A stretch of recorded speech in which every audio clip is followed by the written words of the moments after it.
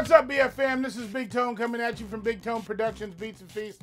Today we're going to be doing another recipe. We're going to be doing a standing rib roast. Hey guys, and before we even get started, you know how I get down. Go ahead and like the video if you like it, comment and subscribe to the video, and share the video all you want, guys. And we're going to get started with this. I'm going to introduce you to my supporting cast and show you how I actually do it. Okay, guys? All right, guys. So to get started with the standing rib roast, it's a very simple recipe. There's a few things I got to let you know before I even get started. This rib roast is a 10 pound rib roast. It's a pretty big one here. And anytime you cook a standing rib roast, it's got to be out in it. You got to get it room temperature for at least six to eight hours, guys. So I've this one's been sitting out for a long, long time. I've washed it off, cleaned it up a little bit. And it's a very simple recipe, but, but you definitely got to let it get room temperature, okay, guys? You can't put a cold rib roast into a hot oven. It's not going to cook evenly. But in any case, this is how I do mine. So I'm going to introduce you my supporting cast. So I've got about eight cloves of garlic here. And then I've got just regular salt. I don't use the Himalayan sea salt in this one. The reason being because it's a little bit expensive and you got to use a lot of salt on this. So, and the salt really has a hard time penetrating, so you gotta you gotta over salt. And then I use just regular black pepper, and then Lawry seasoned salt. And this con contraption here, or this concoction, is nothing more than butter. Inside of the butter, I've gotten basil, I've got um, salt, pepper, and that's really about it. Oh, I've got some parsley flakes in there as well. So this is for the spread that we're gonna put on the on the standing rib roast. But the first thing I do here, guys, is I'm gonna turn this up on its end, and you can see this is a four rib. As you can see, one, two, three, four. So there's a couple ways that you can get this. You can get it without the bone, or you can get it with the bone. I choose with the bone. It, it has a lot more flavor.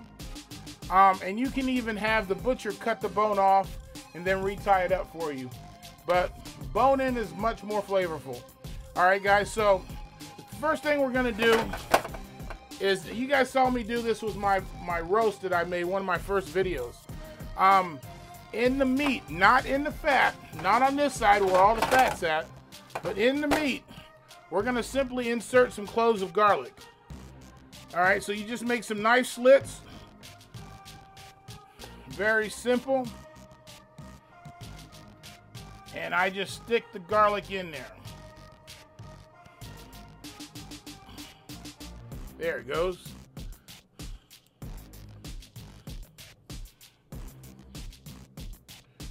All right. I'm gonna put three in here. I'm gonna put one right here too. So just a little hiding place for the garlic to give it some flavor. I'm gonna turn it over and do the same thing on the other side. My butcher seems like he gave me an in cut here. I'm not very happy with that, but it's okay. It's still gonna be great. Most of the in cuts, when you cook them, that's gonna be the more, more to the more doner portion of the meat. So that's okay. So I'm gonna insert six of them here in, in the sides of the meat. All right. And then I am going to put a couple here for two reasons. For one, to give it flavor. And two, is that slit is a place where salt can slip through and give it a little bit more flavoring, okay? Or give it some more seasoning. So I got them strategically placed here around the salt cap.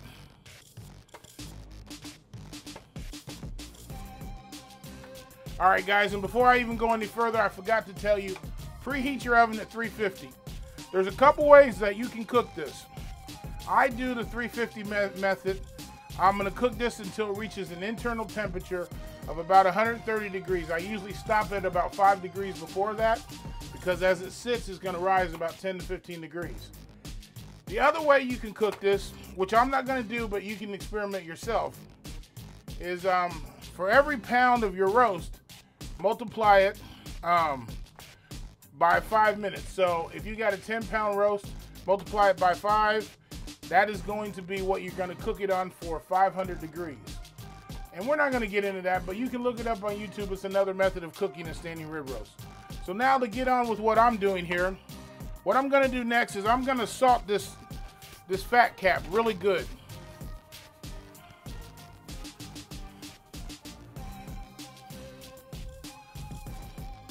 I'm just to simply rub it in a little bit here. A lot of it's to fall off. That's why I didn't use the pink Himalayan sea salt. Okay, guys? And just for consistency, I'm to salt the underside too as well. I don't know who it was that I heard say this, but on a standing rib roast, if you think you salted it, use twice as much as you think you're to use. I don't know who that was, but I heard it some uh, from some professional chef. All right, guys, I'm not going to do the sides, but I'm doing all the rest of this. I'm going to continue to do the top here just a little bit more. You think this is a lot of salt, but there's a lot of fat here for it to get through. All right, guys, so the next thing I'm going to do is add a little bit of pepper.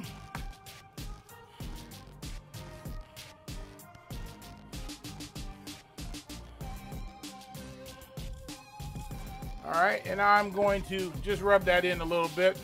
Now I'm gonna add a little bit of seasoning salt. This is just on the fat cap. Because a lot of this is gonna be wasted. And if you guys are like me, your spices cost a lot of money. So wasting is not something I wanna do. All right, so as you can see there, the next thing we're gonna do, excuse me one second, I'm gonna get another utensil here. All right, so I, I went over and got a brush. Because what I'm gonna do next is I'm gonna flip it over and I'm gonna add my butter concoction here. Simply putting it on and I'm just gonna rub, just, just go ahead and put it on pretty thick.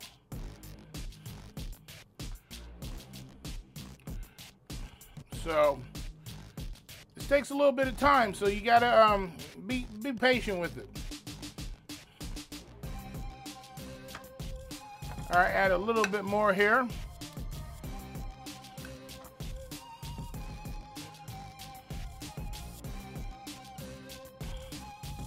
Everybody said everything goes better with bacon. I believe everything goes better with butter. All right, make sure we get all of it over here.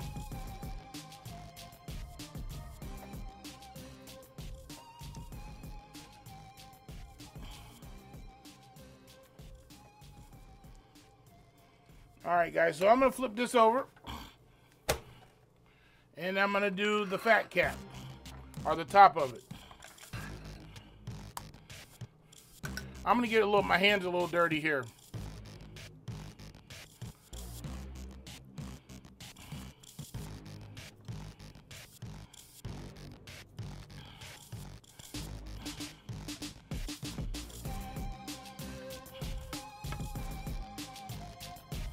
All right, continue spreading it out until it's all over the meat.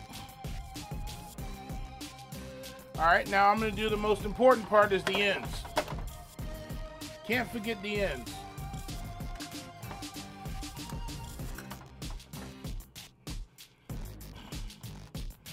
Make sure they're good and covered here. And we're going to flip it over on the other end.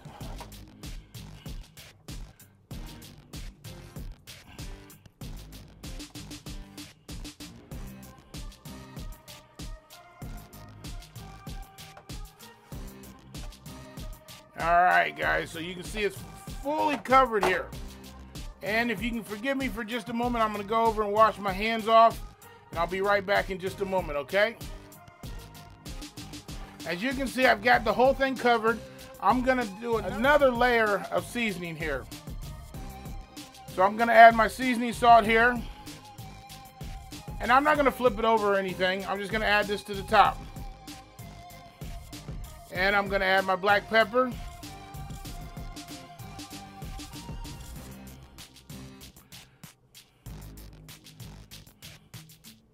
All right, guys. So that's all I'm to do. That's all I'm to season it. Now, keep in mind, you can season yours any way you want to, any way you feel fit. There's no rules. All right, guys. So the next thing I'm to do is I'm gonna grab my thermometer. I've got a little digital thermometer and I've got it set for 30, uh, 130 degrees. Let me turn the, um, the alarm on so I can hear it. There we go. So it's got a little alarm on it. I'll check it anyway. But uh, there it is. So all I'm going to do is I'm going to take the probe in and I'm going to insert this into probably the thickest part of the meat. I'm doing the meat, not in the fat either. So I've got it in there. I leave this on my oven here. All right, so it's starting to read the temperature already. I can see it going up and down based on the coolness or the heat. So the next thing we're gonna do is we're gonna pop it in the 350 oven. I'm gonna watch my temperature. And there you have it, guys. Next time you see me, you're gonna see a, a standing rib roast. Okay, guys? All right, I'll be back. All right, BFM, so here we go. I've taken it out. It's been cooking for about, eh, I would give it about two and a half hours, maybe two hours. Um, brought it up to the temperature of 130. As you can see, it's a perfect perfect. I mean, this is absolutely perfect medium, and probably about a medium rare. But in any case, as you can see, the, the garlic falling off. And as you get closer to the center, it's going to become a little bit more pinker. On the outside, it's going to be a little, little bit more done. But in any case, hey, you guys, this is the perfect prime rib. All right, guys, this is Big Tone. If you guys like this video, go ahead and like, comment, and subscribe to it and also share the video. Hey guys, this is Big Tone signing off. Peace.